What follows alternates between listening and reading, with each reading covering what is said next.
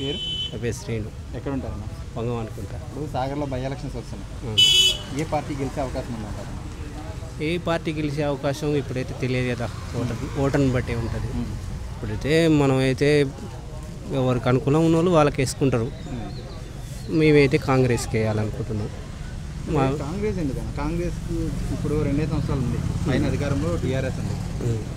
జనారెడ్డి గారు గెలిస్తే అభివృద్ధి జరుగుతుంది అనుకుంటున్నారు అభివృద్ధి జరగడానికి జానారెడ్డి వల్ల కాదు. కాంగ్ కాంగ్రెస్ వల్ల మేము లబ్ధి పొందింది ఏంటంటే ఇందిరమ్మ ఇల్లులు ప్లస్ మా ఊర్లో కరెంటు గురించి. టీఆర్ఎస్ పార్టీ కూడా అంటుంది కదా నేను ట్వంటీ ఫోర్ అవర్స్ కరెంట్ ఇచ్చాను. డబల్ బెడ్రూమ్లు ఇచ్చేసానని చెప్తున్నాను డబుల్ బెడ్రూమ్లు మాకు దళితులకు ఎవరికి ఇవ్వలే. నల్గొండ జిల్లాలో ఎవరికి ఇవ్వలే. ప్లస్ వాళ్ళ వాళ్ళకు అనుకూలం వాళ్ళకి చేశారు. అంటే కాంగ్రెస్ అయితే అట్ట ఏం చూడలే కదా అందరి అందరికి సమానంగా ఇచ్చింది ఉమ్. ఉం?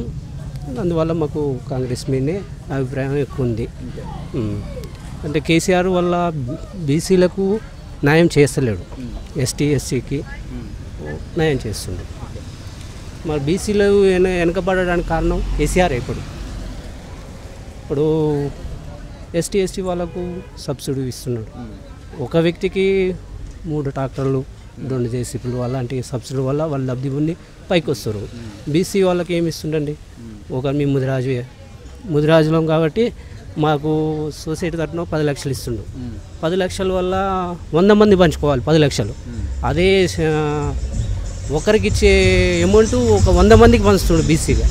అందువల్లనే మాకు ఇట్లా నష్టం జరుగుతుంది బీసీ వల్ల మమ్మల్ని అభిప్రాయం పెట్టుకుంటలేడు కేసీఆర్ బీసీ వాళ్ళని. అందుకోసం బీ కేసీఆర్కి వ్యతిరేకంగా మేమైతే న్యాయ పోరాటం చేస్తాం అంటే మొత్తానికి ఎవరు గెలుస్తారు అనుకుంటున్నారు ఇక?